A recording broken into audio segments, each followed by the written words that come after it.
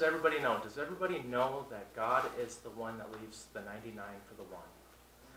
I, I have a testimony this morning, and it's a praise or praise report and prayer request all in one. My best friend, he has a son. His son, before he got to know the Lord, he OD'd on fentanyl twice. He, I know for sure that one time they brought him back to life, and I'm not sure about the second time. I think it was two times, but I'm not positive. I know that he overdosed on fentanyl twice. Then he he came to alongside once a few times, went to the Bible studies, gave his life over to God. And in that time, we saw him change. He became sober. He started becoming that new creation. I'm not sure what happened, but something in his life happened, and he fell away from the Lord. He became a prodigal child. And my best friend, he texted us and asked for prayer for his son. He didn't know, didn't know where he was, he hadn't had no clue. We prayed over him at that time that the Lord would bring his son to a place that the Lord could use him again. Four days, four days later, uh, he calls and he tells us that in Mission, uh, Mission Canyon Hospital over in California, his, fun, his son was found, was unresponsive for four days on a ventilator. No, there was nothing. He was just there he reached out to everybody that he knew and asked for prayer. In that time of prayer, the Lord brought him. So on the sixth, the fifth day, still unresponsive. On the sixth day, he came out of it, and the uh, the doctor is saying that he's going to have a full recovery, and all that all is happening. But in that, we stray from the Lord. We go away. We push away from Him. But in those prayers, in all these things that are happening in life, the Lord brings us back to where we need to be. He humbles us to where we have to be. He cuts, he, he's a fire that consumes everything that's not of him. And in these prayers, I feel like it was taking his son back to that spot where he can be used by him.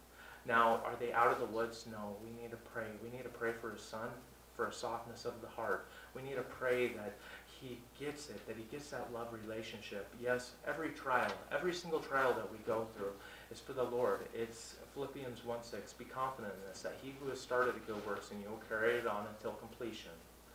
So in this time, this is a time that the Lord used. He used this and he brought him to this. My prayers was for the mom and the father that they wouldn't have a hardness of heart that they would be able, that the Lord's will be done, and that they had peace and joy through it, knowing that it was the Lord. And in that prayer, their son, their prayers for their son brought them back. And it's just a joy. It's a praise report because look at how good God is. Even in our in, even in our stubbornness, even in our waywardness, He will bring us back to that place. Even even if it causes pain, because he uses that pain for our good. He uses that pain for our good. Amen? Okay. Sweetheart, will you come pray us in? Thank you.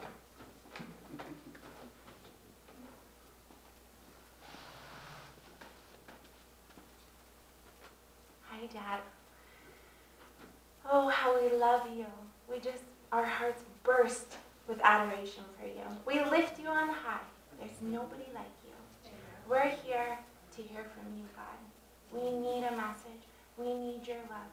We need you all the time, every day, every second, every minute. We can't do this without you. And so, Lord, we don't know what tomorrow brings. We don't know what we're doing. We don't know anything, but we know you, and that's all we need to know. As long as we have you, we have everything we need. And if we don't have you, we have nothing. And so, Father, use my husband. Speak through him in a mighty way. Let his words come from you and not himself, Lord. Overtake any um, anybody that has a negative mind or bad thoughts. Just give them peace right now so that they can just feel your presence and be in the moment, Lord. Anything that's distracting or we're thinking about our to-do lists or whatever is happening, Lord, silence it all and catch us in this moment with you and speak to us. And we pray this in the name of Jesus, the name above all names, the name that has no rival, and that every knee will bow down to and every tongue will confess the name of Jesus. Amen. Thank you, sweetheart. Okay, my, my message today is on trusting in God. And I'm going to start off in Luke chapter 11, 13 through, or 1 through 13. Luke chapter 11, 1 through 13.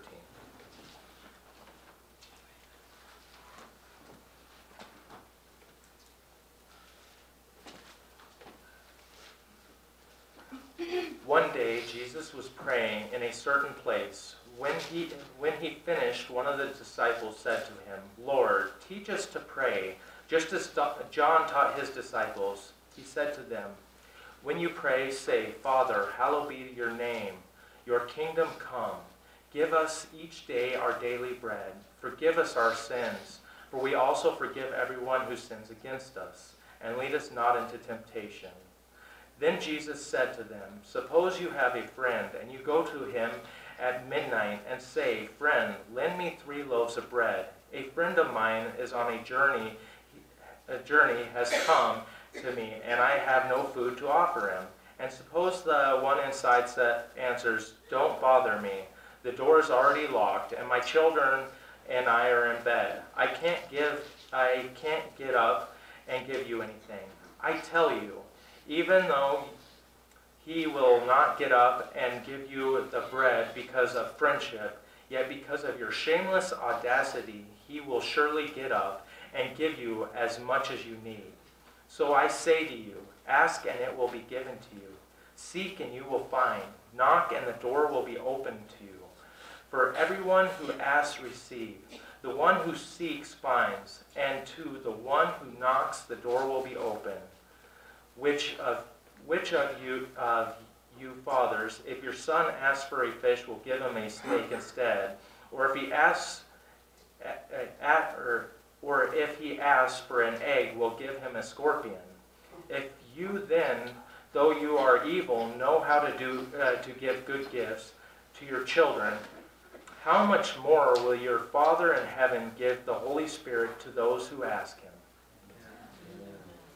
In this the beginning of this is talking about how we should pray. And the beginning of the prayer, it says, Father, hallowed be your name. What does that mean? It means to give glory, to give praise to him. It doesn't mean to get stuck in your funk. It means to rise above what the problems, what the issues are in your life. This really hit me hard because I already had a message started, and then on Friday the Lord told me that I needed to do it on trust and I needed to give the testimony of my best friend and his son. And this is what he showed me is the first part is in the prayer. That we need to get out of our own funk. Things come against us. Things happen in our lives. But we need to focus on God the Father. And through that focus, it says, Hallowed be your name, your kingdom come. Give us our day, our daily bread, meaning He's providing every single one of our needs for us that we need to trust in Him, in what He's already providing for us. We need to get out of our focus on anything else. It's about glorifying God, to set down self. Our self is what gets in the way in everything that goes on. So this first prayer is saying, it's an outline of saying exactly how we need to step into this. And how do we fight our battles? We fight our battles through prayer. In Ephesians 6, it talks about putting on the armor of God. And then after it tells us all about the armor of God in Ephesians 6:18, pray in the Spirit with all types of prayers and requests. With this in mind, be alert and always keep on praying for all the Lord's people. What does this mean? This means that's how we fight our battle. So in this, the Lord is telling us and outlining how we need to fight our battle. It's saying to first off, to glorify his name to be in a rejoiceful spirit, not to be always cast down. And yeah, we are supposed to mourn with the mourn and rejoice with the rejoice. But the mourning is with somebody else's suffering, to come alongside them and feel their pain and give them and understand the grief that they're going through and help them walk through it, nudging them into back into health, into Christ. And even if they're going through something, people lose pe- uh, friends, family members. It's a ripping of the flesh, but we need to come alongside each other. We need to mourn with those, but in this, we need to rejoice in who Christ is because he is that love, that love above all love, the agape love, the one that he's teaching us how to love this way.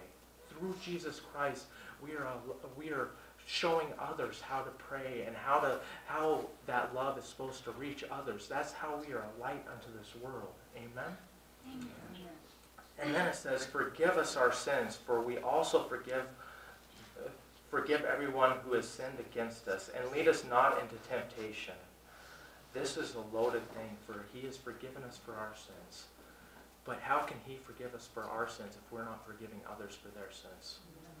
We have to get. We have to be able to let go of that. Why? And this temptation, if we aren't forgiving others, we are being led into temptation.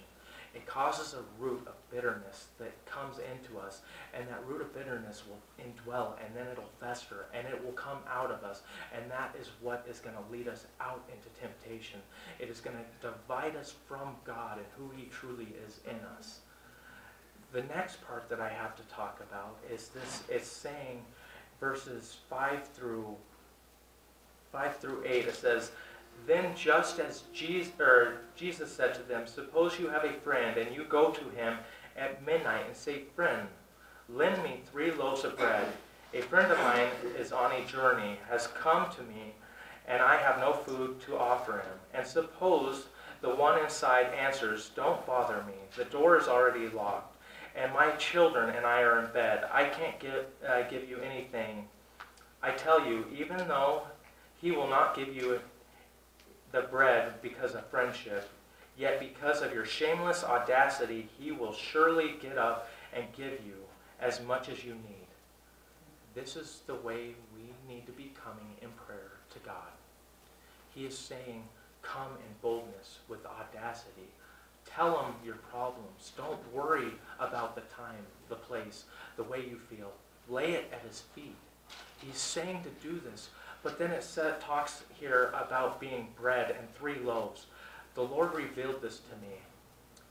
The Father is the bread, the Son is the broken bread, and the Holy Spirit is whenever we ate that bread. God the Father came to be flesh. Whenever he came to be flesh, it was the Son. He became the broken bread for our sins. On the Last Supper, it talks about how he broke the bread and said, Eat. That is whenever the Holy Spirit indwelled into us. It was the eating of the bread. Three loaves of bread. It was talking about the bread, the flesh, the things that were going to happen. The three loaves is God the Father, the Son, and the Holy Spirit. It's saying to come with a boldness. The Father will listen to us. He will give us what we need. He is saying to do this, and it's laying it out there. And then right after that, that's what this parable is talking about. It's talking about prayer, and then it's talking about how to do this in a prayer. I've read this so many times, and this time the Lord just opened this up to me, a different, in a completely different light. I had never seen the three loaves that way. And the Lord said, look, this is what it is. The three loaves, what's three? Father, the Son, and the Holy Spirit. What's the bread mean? Look at the Last Supper, how the breaking of the bread. I am the full loaf. I broke myself because I loved you so much. I came to be the sin, to take that sin. I put it on my shoulders and I laid it to rest. I put it in the grave. Death has no sting against us anymore. So in this, it's talking about to come to him with that boldness, come to him in that strength of knowing where he is, giving him the trust because trust in the Lord with all your heart. Lean not on your own understanding. In all your ways submit to him, and he will make your path straight. He is telling us how to do these things. Amen? Amen. Okay, and then it says, So I say to you, ask and it will be given to you. Seek and you will find. Knock and the door will be open to you. For everyone who asks receives. The one who seeks finds. And to the one who knocks, the door will be open. Right here is saying that whatever you're seeking for, he, you will find because he's going to show you. Whenever you knock, he's going to open the door that needs to be open, and he's going to shut the ones that need to be shut. But it's up to us to step. It's up to us to listen and then take that first step. It's not just, oh, I'm just going to sit here and he's just going to provide it. No, he's going to give you, he's going to reveal himself to you, and he's going to make it known to you where you choose to step. If you're knocking, you're already seeking, so you're already in a progression. So what he's saying is if you're actually looking for me, he's going to reveal himself to you. But in this, it's so glorious because we all are looking, we are all seeking. So we can all have a rest assured here. We can know that he's going to reveal that way. He is going to do that mighty works in us, like in Philippians 1 6. He started that good works. He's going to complete it. He's going to complete it in us. Why? We are all seeking him out. Yes, there are those pains. There are, are those struggles. Like my best friend's son. He went, he unresponsive. He's in the hospital. Yes, did he fall away? Yeah, he did. But through everybody's prayer, the petitions, the Lord brought him to that place that he's taking all that was not of him and he's starting it over. Now he's going to have to start back and that freshness of who he started to be whenever he first accepted Jesus Christ and started working and living for him. Yes, the enemy stole something, but whenever the enemy steals something, the Lord will bring it back give it back to you. The enemy, yes, he can steal stuff from us. The Lord allows him to do that. Why? It's to mature us. It's to give us a strength. It's to give us faith to, so that we won't stumble and fall when adversity or adversity comes. So in this, understand that we do go through trials, but in those trials, they are strengthened. They are to strengthen us. They are to mature us. They are to grow us. So rather than focusing on what is happening at this time, understand and count it as joy because the Lord is using it for his good. Amen. And then it says, which of, of you fathers, if your son asks for a fish, will give him a snake? Or if he asks for an egg, will give him a scorpion? If then, though, though you are evil, know how to give good gifts to your children, how much more will your Father in heaven give the Holy Spirit to those who ask him? This is saying that each one of us that is a father, or each one of us that has kids, we want to give a good gift to them. We look out for our sons, our daughters. We look out for those. How much more is God the Father? He sent his son. Is that enough? Is that enough for us? Right, right there should be enough. But look at everything else that he's still doing. To this day, all the mountains he's moving in our lives. Look at all the things, all the testimonies, all the praise reports that you that you've talked about, all the things that he's still doing. He's a mountain moving God. But honestly, that one thing, him sending his son to die on the cross was enough. If he did nothing else, that should be enough for each and every one of us. That should be. But he loves us so much that he is still moving. He is still doing. He is still on the move because he wants us to get that relationship with him, that love relationship with him, because that love relationship with him is what he desires. He wants us to want him. He desires us to want him. Mm-hmm. He has a jealousy for us, for everything that we are going through. He doesn't want us to go through the trials, but he allows them because we are stubborn. We're hard-headed. I know I am. Amen. Amen. Praise God. Nothing growing up there anymore.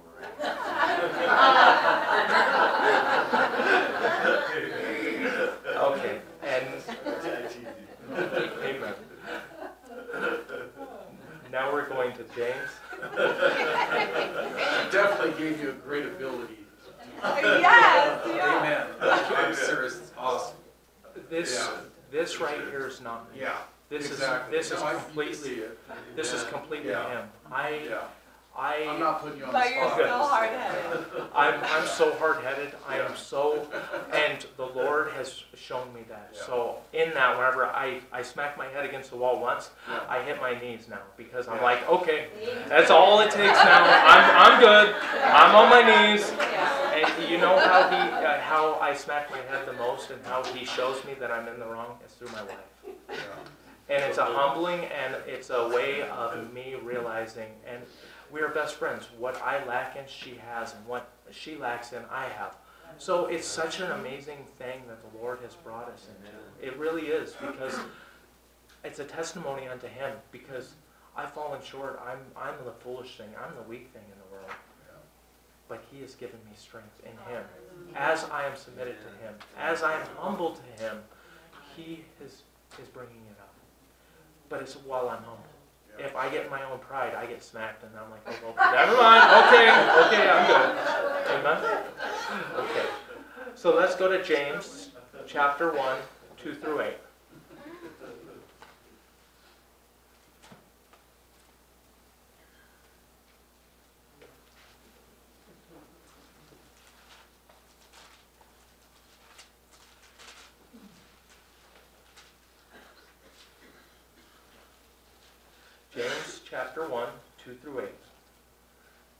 Consider it pure joy, my brothers and sisters, whenever you face trials of many kinds, because you know that, the, that this tests your faith, produces perseverance. Let perseverance finish its work so that you may be mature and complete, not lacking anything. If any of you lack wisdom, you should ask God, who gives generously to all without fa- uh, finding fault, and it will be given to you. But when you ask, you must believe and not doubt, because the one who doubts is like a wave of the sea, blown and tossed by the wind. That person should not expect to receive anything from the Lord. Such a person is double minded and unstable in all his ways.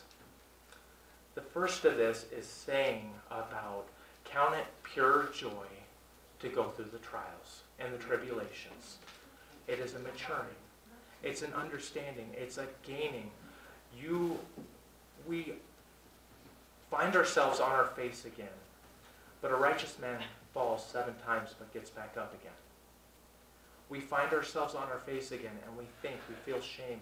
The enemy is trying to sow us and say, no, you should feel this way. No, you should feel this way. No, no, don't. And it's the enemy. He's coming to steal, kill, and destroy. But the Lord is using that. He's scooping us back up and he's bringing us back. But it's in transparency. It's in our own, it's not in our own ability. It's in our transparency of saying, I've fallen short again. Lord, use me. Lord, Give me the strength. This is what I am. I'm broken. I am weak. I have hurts. I have failures. I have these things. Whenever you give it to him is whenever he can use it. Whenever you give him these mm-hmm. things, he can bring you up into an understanding because you realize it's not in yourself. That's whenever he truly can use you, is in that broken state.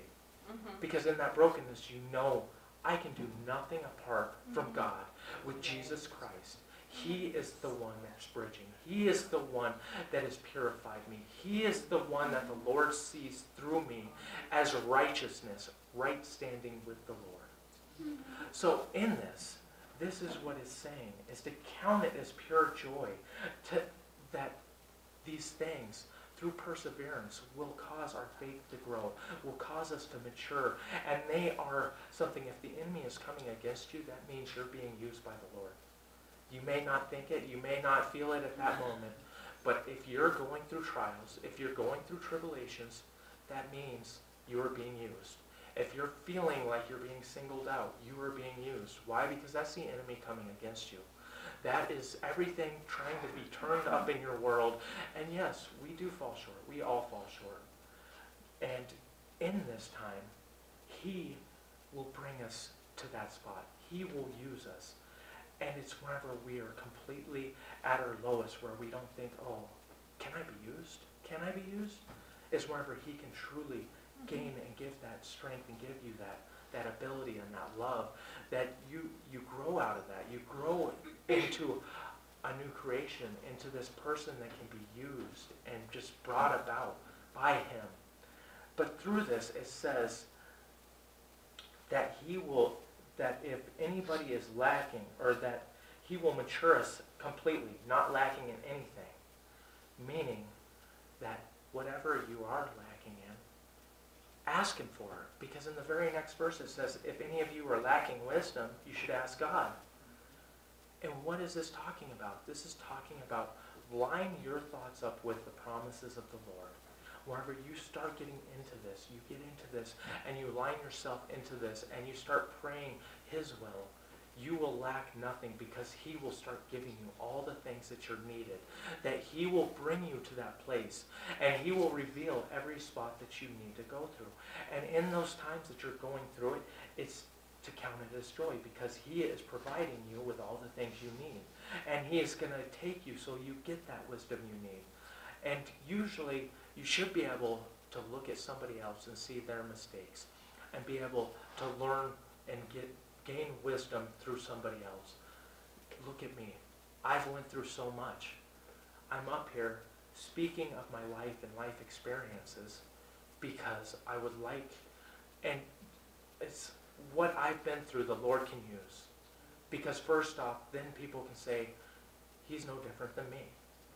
Secondly, he can show it's through his brokenness that I can use him. Because in that brokenness, it's all me that gets the glory.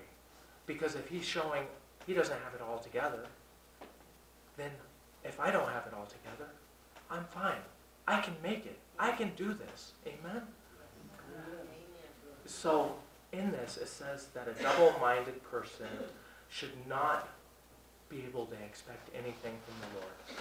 So that's wherever you go into your own understanding. It says, trust in the Lord with all your heart, not in your own understanding. It means that you have to completely give it to him. It doesn't mean that you don't feel it again, but it means you constantly give it to him. It, whenever something goes wrong, you give it back to him. Whenever you have doubt, you give it to him. You hand it to him. You don't keep it to yourself. Whenever you hold on to it, is that un- a double-mindedness because then you're trying to do it in your own understanding. You're trying to gain it, it do something by your own strength. I did that for a lot of years of my life. I would try to give it to the Lord, and then I thought it was okay. This is just the math equation that I do this to this, and I get this. So I tried to do that, and everything fell short, and it just. And I said, "Why am I? What's happening? Why is everything going wrong for me again?" And it was in that time. I know for me and Misty, I, for me personally, I have relationship issues. We got married. I didn't have to deal with relationship issues. I, I love my mom and I completely love her. She's here for me.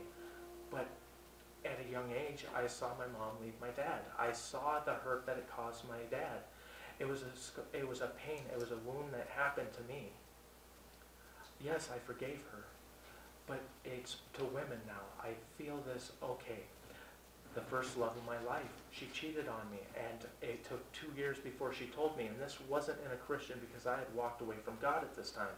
So the enemy was using everything to just come against me and just to hurt me and make me feel even worse and less than and all these different things so that I didn't feel like I could trust women. Well, I went to prison and I got a love relationship with Jesus Christ. And in that love relationship, he held me of how my brothers picked on me, all these other things of feeling less than in all these other ways. But now I'm walking through having a relationship with a woman that I love and having these pains that I feel that she's going to do the same thing. I have to walk through this day after day. Why? Because the enemy is there to steal, kill, and destroy. If I try to shove it under the rug and not deal with these things, I'm being transparent here. I'm saying I have this. I go through this. I am walking through this with my wife right now. And is it glorious? Yes, it is glorious. Is it hard? Yes, it's hard. Is it dirty sometimes? Yes, it's dirty. Sometimes I feel like I'm doing stuff the wrong way. The enemy comes against me and it feels like everything's going in the wrong direction, that I'm doing something wrong. That and that's in my life, but I it's whenever I feel that way that I hit my knees and I give it to the Lord. And it's him healing me. It's the Lord saying, You walked through this. Yes, I took it from you. This is the residuals, the broken up pieces of the hurt, the pains, the wounds that were already there. Now I'm making you walk through them so I can heal them over you.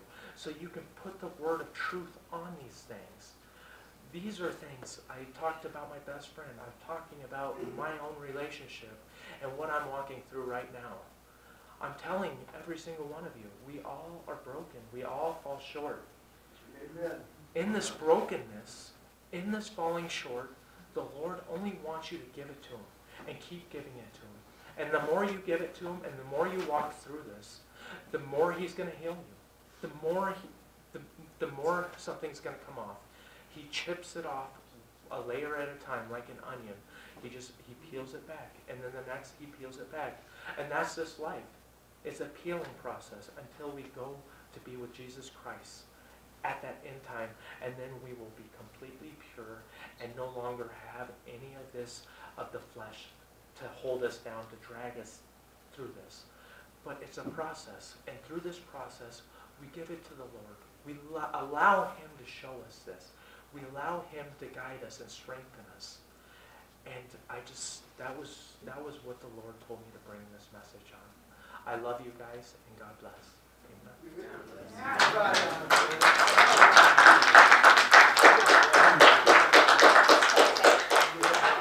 Can I pray it for everybody Yeah. out? Dear Lord, I thank you. I thank you for everybody that's here. I just pray. I pray over each and every one of us, Lord. I allow, I just ask you, I ask you to allow them to realize that in this brokenness, there's no shame, there's no guilt. That we need to give it to you, wholly give it to you, with a boldness, because it's for you, Lord. It's for you. And in that, you are going to use us in such a mighty way. So I ask you to reveal yourself, your love to each and every one of these people here, including me, Lord. Allow us to walk in victory, no longer feeling guilt or shame over any of these things that are going on, because that's of the enemy. The Lord wants to renew that area of our life. He wants us to give it to Him.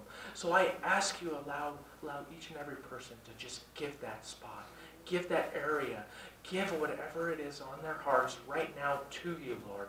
That we just need to trust in you. And as we are trusting in you, you will do the works for this, dear Lord. That it's through you. It's through you completely, Lord. So I thank you. I thank you for each and every one of these people that are here. I thank you for allowing them to hear your words today. And I thank you for allowing you to use me, Lord. That you could use the lowly. That you could use the shameful. That you could use me in such a mighty way. It's such a blessing to see where you've taken me in this life. And I just ask you to reveal this to each and every person here, Lord. That you want to do the same for them. That you want to do the same for each and every person, Lord. So I ask you to just break these things apart and just to reveal yourself to them, Lord. In Jesus' name, amen.